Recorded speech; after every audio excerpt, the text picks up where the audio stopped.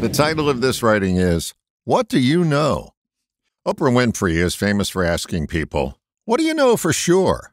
I suspect that a lot of us claim to know something for sure, but we really don't. That's because we fail to own it. Too often we rent what we attest to know for sure. I don't believe you can truly know something until you take ownership of it. That means acting on what you know, not just spouting out personally unverified advice. Here's a question worth asking yourself What do I know that I don't own? The answers you get will lead you to an area of your life that needs less description and more conviction, namely, action.